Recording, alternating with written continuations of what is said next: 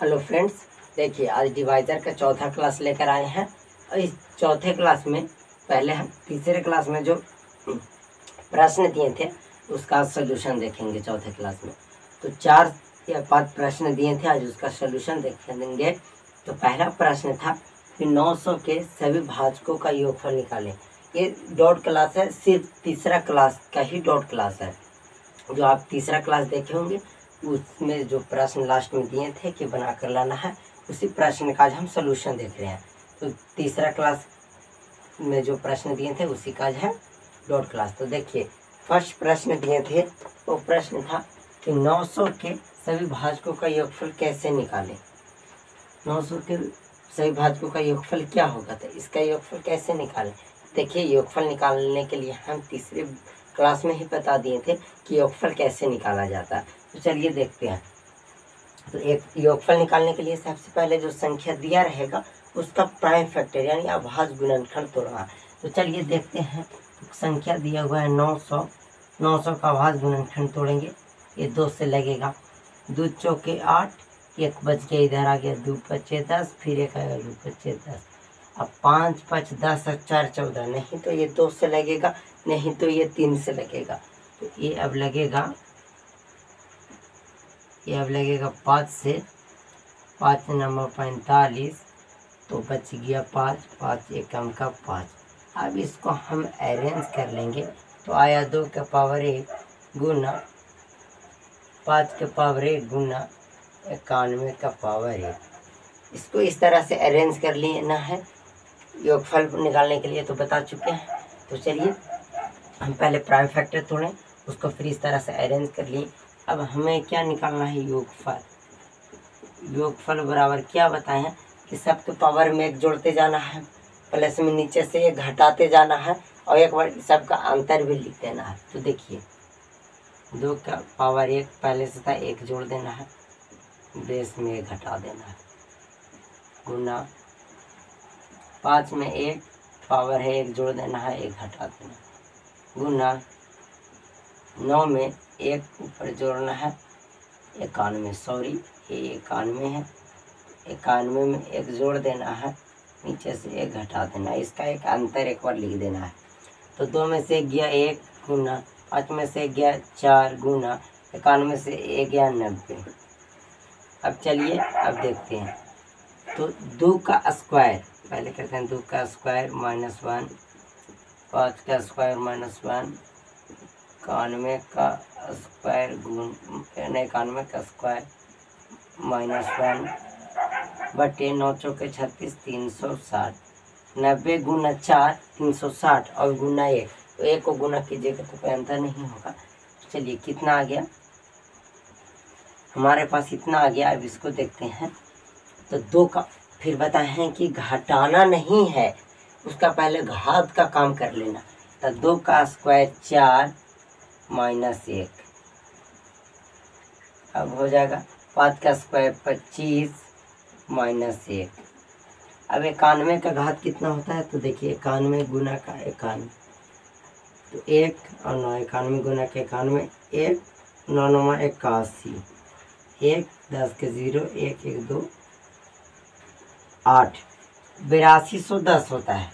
इसको बिरासी सौ, बिरासी दस माइनस एक। बटे तीन सौ साठ। अब इसको क्या करेंगे? चार में से गया तीन गुना पाँच, पच्चीस में से गया चौबीस गुना आठ, बिरासी सौ दस में से एक गया था। बिरासी सौ नौ हो जाएगा बटे तीन सौ साठ। चलिए, इतना तो आ गया। इतना तक सबको आ गया होगा।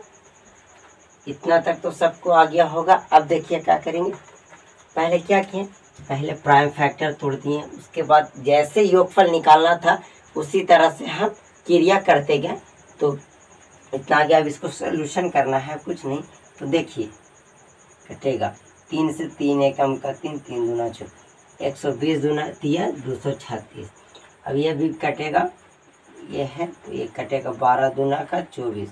बारह दहा के एक सौ बीस। अब ये कटेगा। दो पच्चे का दस अब आ गया बेरासी सौ नौ बटे का पाँच अब इसको आगे सोल्यूशन कर लीजिएगा। जो डिवाइड करने के बाद आएगा, वो हमारा आंसर हो जाएगा। तो देखिए क्या किए। कुछ नहीं, सबसे पहले योगफल निकालने के लिए पहले प्राइम फैक्टर तोड़ दिए। इतना तो करना ही है प्राइम फैक्टर पहले तोड़ना ही है। तो प्राइम फैक्टर तोड़ दिए, उसके बाद अरेंज कर दिए। और फिर उसके बाद सबके पावर में एक जोड़ देना है। और बेस को नीचे से घटाते जाना है। एक और बेस का भी अंतर लिख दिए। तो दो का स्क्वायर चार माइनस एक, पाँच का स्क्वायर पच्चीस माइनस एक, इक्यानवे का स्क्वायर बिरासी सौ दस होता है।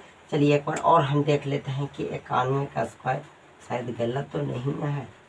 इक्यानवे एकम का इक्यानवे गुना नौ एकम का नौ और नौ नौ इक्यासी। एक, नौ दो, नौ नौ, अठारह का आठ। हाथ में रहा एक, सॉरी। गलत है हमारा। देखिए, नौ नौ, अठारह नौ नौ, में इक्यासी। नौ नौ, अठारह का आठ, हाथ में एक एक, दो, आठ। बिरासी सौ इक्यासी होगा, सॉरी। अभी तो कह रहे हैं बिरासी, इक्यासी होगा। अब यहाँ पे बिरासी, इक्यासी तो अब यहाँ पे पूरा चेंज हो जाएगा। अब यहाँ हमारा होगा बिरासी, इक्यासी। बिरासी, इक्यासी ना करके बिरासी, दस हो जाएगा बिरासी, अस्सी हो जाएगा। बिरासी, अस्सी हो जाएगा। यहाँ देखिए, बिरासी, इक्यासी में से तो एक घटा दी सब में से एक घटाए तो चार में से गया तो तीन, पच्चीस में से गया तो चौबीस, और बिरासी, सौ इक्यासी में से घटाए एक तो बिरासी, अस्सी बचा। अब इसको डिवाइड किए तो अब इतना है, अब इसको पाँच से डिवाइड करेंगे तो पाँच पाँच एकम का पाँच, तीन बच गया इधर, पाँच छत्तीस फिर पाँच एकम सोलह पचासी दो बच गया, फिर इधर आ गया तो पाँच पच्चे पच्चीस तीस, पाँच छः तीस, यानी कि सोलह सौ छप्पन। इसके कुल भाजकों, इसके सभी भाजकों का योगफल आ गया सोलह सौ छप्पन। जिनका आंसर सही है, वो इनका सोलह सौ छप्पन आया होगा, उनका ये आंसर सही होगा। तो 900 के सही भाजकों का योगफल कितना आया? सोलह सौ छब्बीस। चलिए उम्मीद करते हैं कि ये प्रश्न आप सबको सही हुआ होगा। आप सभी लोग बनाए होंगे बनाए होंगे तो इसका आंसर सेम आया होगा सोलह सौ छब्बीस। अब चलिए हम नेक्स्ट प्रश्न। है। नेक्स्ट प्रश्न था दस के पावर दस के सभी भाजकों का योगफल निकाल। देखिए देखने में थोड़ा हार्ड है लेकिन बहुत सिंपल प्रश्न है बहुत सिंपल और फ़र्स्ट वीडियो सेकेंड वीडियो देखे होंगे तो आसान तरीका से बना लिए होंगे। अगर जो नहीं भी कभी एक भी वीडियो देखे और उनको योगफल निकालने आता है तो इसको दस बार गुना करके उस तरह से भी आप बना सकते हो। तो देखिए क्या करना है। योगफल निकालने के लिए सबसे पहले हम क्या बताएँ कि सभी भाजकों का योगफल निकालने के लिए प्राइम फैक्टर तोड़ते हैं संख्या को। तो संख्या तो दस के पावर दस दिया हुआ है तो इसको पकड़ कर लाएँगे। कितना दिया हुआ है? दस का प्राइम फैक्टर तोड़ेंगे। दो पच्चे का दस। दो के पावर एक गुना पाँच के पावर एक। अब इसका पावर पहले ही से दस था। इसका पावर पहले से कितना था? दस। अभी हम समझा चुके हैं। ऐसे बन, प्रश्न पहले ही। तो इसका पावर पहले से कितना था? दस। अब दो के पावर दस तो दो के पावर दस हो जाएगा गुना। पाँच के पावर एक गुना एक, पाँच के पावर दस हो जाएगा। अब हमें योगफल निकालना है क्या? योगफल योगफल बराबर काफ़ी आसान है, क्या बताएँ कि पावर में एक जोड़ते जाना था दो के पावर ग्यारह हो जाएगा। चलिए, दस प्लस एक माइनस एक गुना पाँच के पावर दस प्लस एक माइनस एक। और बट्टे में इसका अंतर लिखते जाना है तो दो में से गया एक गुना, पाँच में से गया चार। अब आगे अब आगे आगे। दो का पावर ग्यारह माइनस एक गुना, पाँच का पावर ग्यारह माइनस एक बटे का चार। अब इसको सॉल्यूशन कर लेना है। कितना आया? दो का पावर पहले ग्यारह का सॉल्यूशन करना है। उसमें जो आएगा माइनस एक हटा देना है, गुना। उसी तरह पाँच के पावर ग्यारह में करने के बाद जितना आएगा उसमें एक हटा कर चार से डिवाइड कर देंगे। ये हमारा आंसर आ जाएगा। इतना सोल्यूशन करना है, इतना छोड़ देते हैं। इतना कर लीजिएगा। यहाँ तक किनका किनका सही होगा, आगे सोल्यूशन कर लीजिएगा, वो आंसर आ जाएगा। अब चलिए अगला प्रश्न देख तीसरा प्रश्न दिए थे कि नौ मल्टीप्लाई एक का स्क्वायर इसका कुल भाजकों का योगफल निकालना है तो इसको भी उसी तरह से करेंगे। नौ में से एक गुना करेंगे तो नौ ही होगा। इसका प्राइम फैक्टर तोड़ेंगे, तीन तिहाई के नौ, यानी कि तीन का स्क्वायर सिर्फ़ आया। अब इसका भी आ गया दो, आ गया तीन का पावर दो का कितना? छः हो गया। दो दूना का चार हो जाएगा। अब योगफल इसका कैसे निकालेंगे? काफ़ी आसान है। लेकिन ये भी जानना ज़रूरी है कि सिर्फ़ एक ही संख्या रहेगा तो उसका योगफल क्या ऐसे निकालेंगे? तो देखिए योगफल कैसे निकालेंगे। कुछ नहीं, तीन का पावर चार प्लस एक जोड़ देंगे, माइनस एक घटा देंगे और तीन में से गया दो। तो तीन का पावर पाँच माइनस एक बट्टे का दो। तो तीन को पाँच बार अगर गुना करेंगे तो तीन गुना तीन गुना तीन गुना तीन गुना तीन। एक, दो, तीन, चार, पाँच, तीन तीन नौ है सत्ताईस दिया तीन तीन होती है सत्ताईस और सत्ताईस में नौ से गुना कर दीजिए। नौ सत्तर तिरसठ के तीन हाथ में रहा छः नौ गुना अठारह। उन्नीस, बीस इक्कीस बाईस तेईस, चौबीस। तो आ जाएगा दो सौ तैतालीस माइनस एक बट्टे का दो। तो दो सौ बयालीस बट्टे का दो दो एकम का दो दो दूना चक्कर दो। एक सौ इक्कीस इसका योगफल आ गया। कितना सिंपल था, नौ गुने एक नौ गुने एक स्क्वायर का सही भाजकों का ये फल कितना आ गया? एक सौ इक्कीस आ गया। कितना आ गया? एक सौ इक्कीस आ गया। देखिए, क्या किए? पहले तो इसको इसको मल्टीप्लाई है तो उसको मल्टीप्लाई कर दिए तो नौ में से एक गुना करेंगे तो नौ हो जाएगा। उसके बाद जो संख्या है, उसका प्राइम फैक्टर तोड़ दी। तो चलिए इसका प्राइम फैक्टर तोड़ दिए। अब इसके कितना आया? तीन का स्क्वायर आया। दो बार आया तो तीन का स्क्वायर लेकिन इसके पहले भी एक, दो, एक था पावर वो कितना था? दो था। तो दोनों आपस में मल्टीप्लाई हो जाएगा तो पावर चार हो जाएगा। अब पावर में एक जोड़ देना है योगफल निकालने के लिए एक घटा देना है, और उसका अंतर एक बार लिख देना है तो चार प्लस एक पाँच माइनस वन तीन का पावर पाँच माइनस वन और तीन में से गया दो। तो इसको तीन सौ तैंतालीस, अगर तीन को पाँच बार गुना कीजिएगा तो तीन सौ तैंतालीस आएगा। तीन सौ तैंतालीस माइनस वन बटे दो बटे दो तो दो सौ बयालीस बटे का दो तो एक सौ इक्कीस। तो इसका कुल भाजकों का योगफल एक सौ इक्कीस आ गया। किनका किनका आया होगा? उनका सही होगा। अब चलिए हम नेक्स्ट प्रश्न देखते हैं। एक लास्ट प्रश्न और दिए थे। वो भी सिंपल प्रश्न था। तो चलिए अगला प्रश्न देखते हैं। तो चलिए, अगला प्रश्न बोल रहा है कि 700 के सभी भाजकों का योगफल निकालें। देखिए, ये सिर्फ़ योगफल के पर आधारित ही प्रश्न सिर्फ़ दिए थे।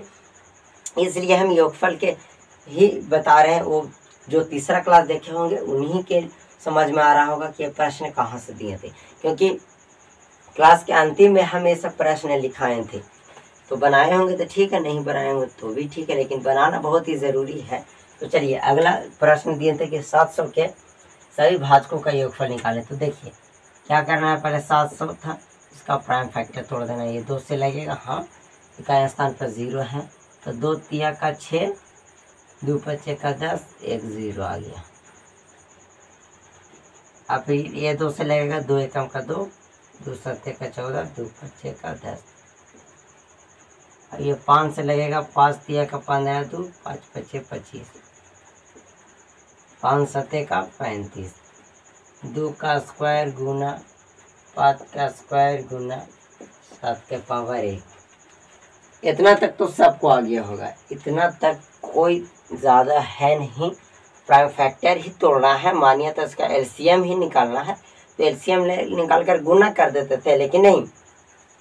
इसको अभाज गुणनखंड के रूप में सिर्फ़ लिख देना। इसको आभास गुणनखंड के रूप में सिर्फ़ लिख देना। अब देखिए, अब योगफल निकालने के लिए क्या करेंगे? योगफल बराबर क्या करेंगे?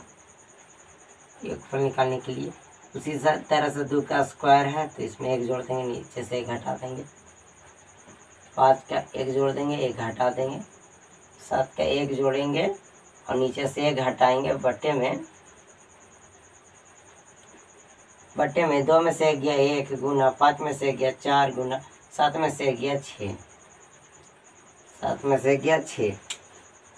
अब देखिए, दो का पावर क्यू हो जाएगा, दो का क्यू हो जाएगा माइनस वन बटे, सॉरी अच्छा ये पूरे बटे कर देते हैं। गुना पाँच का क्यू माइनस वन गुना सात का स्क्वायर माइनस वन बटे छः चौ, छः चौके चौबीस। चलिए आगे बढ़ते हैं। दो का क्यू यानी आठ। आठ में से एक जाएगा सात। पाँच का क्यू यानी छः सौ पच्चीस। अगर पाँच को तीन बार गुना कीजिएगा तो छः सौ पच्चीस आएगा तो छः सौ एक घटेगा छः सौ चौबीस। उनचास, एक घटेगा तो अड़तालीस। बटे का दो। जो ये चौबीस चौबीस दूना का अड़तालीस। चौबीस था, चौबीस दूना का अड़तालीस। अब आ गया सात दूना का चौदह गुना छः सौ चौबीस। गुना करने के बाद जो आएगा, वो सात सौ के कुल भाजकों का योगफल आ जाएगा। छः सौ चौबीस में सत्रह से गुना कर लीजिएगा, उसके बाद जो आएगा, वो हमारा कुल भाजकों का योगफल आ जाएगा। तो इतना तक है, उसको आप आगे मल्टीप्लाई कर लीजिएगा। चलिए, इस डॉट क्लास को हम यहीं पे समाप्त करते हैं, क्योंकि चार ही प्रश्न सिर्फ़ दिए थे, इसीलिए हम चार प्रश्न का सोल्यूशन लेकर आ गए तो चलिए, अब नेक्स्ट वीडियो हम नेक्स्ट क्लास जल्दी लाएँगे। अगले दिन आएगा नेक्स्ट क्लास आप सिर्फ़ इसी तरह से पढ़ते रहिए। आप कंप्लीट मैथ को अच्छी तरीक़ा से कंप्लीट कर लीजिएगा। बस आप अच्छे तरीके से पढ़ते रहिए।